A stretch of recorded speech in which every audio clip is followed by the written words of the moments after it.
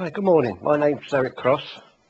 I'm coming up 65 years old and I did 22 years in the RN.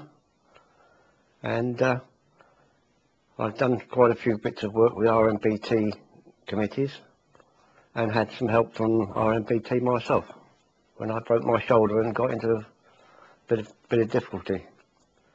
I retired early from work because I was uh, made redundant and at uh, 62 I couldn't get another job, not even part-time cleaning.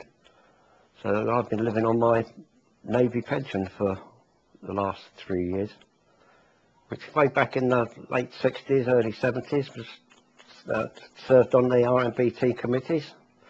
Each one of the shore bases around Portsmouth and Fareham used to have to supply a committee member, and I think it was monthly meetings we used to go to. But when I was, because I was on the BT committee, I thought I wouldn't be able to go to the BT for my, anything for myself, which I was later told was wrong, and that's how I got my help from the RNBT. So if you have served on a committee, it doesn't really matter, you can still go to the RNBT.